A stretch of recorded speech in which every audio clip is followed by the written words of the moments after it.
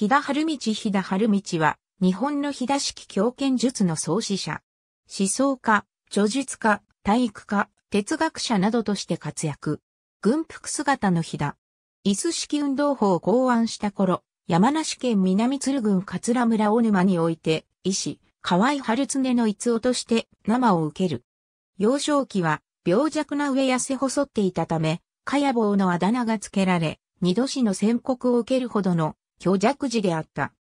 数え年18歳にして、心身改造に志し、古今東西の健康法、運動法を研究実践し、西洋のウェイトトレーニング等に、東洋の丹田丹田、記号等を取り入れた、独自の心身丹田法、河合式強健術を編み出す。この鍛錬は、腹のみに力を入れる、丹田丹田、腹力をさらに推し進め、腰と腹に同量の力を込め、洋服の中心に力を込めて、洋服同量の正中心を鍛錬するところにその大きな特徴がある。その鍛錬によりわずか2年で体格改造に成功。さらに体力ばかりでなく、頭脳も飛躍的に向上し、中央大学法科、明治大学政治科、明治大学商科、早稲田大学文学科の三大学四学科に入学する。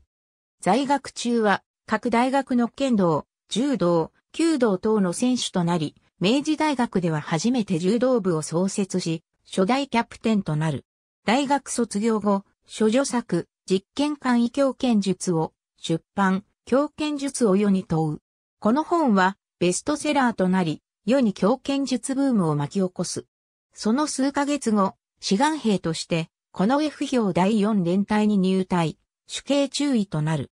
ここでも強剣術の研鑽を欠かさず、椅子に腰掛けたままで行える、椅子運動法等を考案する。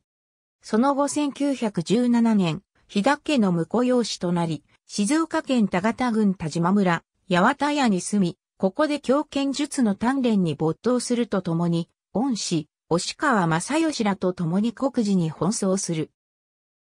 1923年に洋服同僚の性中心力をごとくしてからは、精神的な悟る境もいよいよ深くなり、禅の構想からもその境地を認められる。またそれまで研究していた自然療法を天心療法として体制させ、自身の反省と悟る境を綴った主張、性中心道、日田式強剣術と合冊で発表する。この本において、中心力を応用した独自の中心力抜刀術や中心力護身術、中心力雄弁法、中心連魔法等を発表している。太平洋戦争前夜にはこれを回避すべく大川、襲名などと協力し、資材を殴って奔走した。戦中には、夕刻の念闇がたく、東条秀樹に終戦勧告を二度にわたって書き、自決の覚悟をするも、自身の悟る境より見た、世界人類の救済との悲願を立てることにより、死を思い止まる。その後は人類救済のための宗教哲学の研究に没頭し、この研究を宇宙大学と呼ぶ。この時の原稿は、積むと人の背丈ほどにもなり、その一部は死後宇宙倫理の書として出版される。晩年の1955年には、社団法人、聖中心社を設立し、多年研究の宗教哲学に基づく平和運動を展開するも、その設立後1年にも満たない1956年8月24日、人類の前途を憂うるあまり、水も取らない49日間の断食の後死去。72歳没。生涯を通じて多数の政治家、軍人、学者、文人などと信仰があり、様々な影響を与えている。主な信仰があった人物として、押川正義、松村海石、荒井大水、二木健三、加藤時次郎、佐藤誠一、中里海山、徳富祖法、村井玄斎、大川修明、蓮沼門蔵、山下信義らが挙げられる。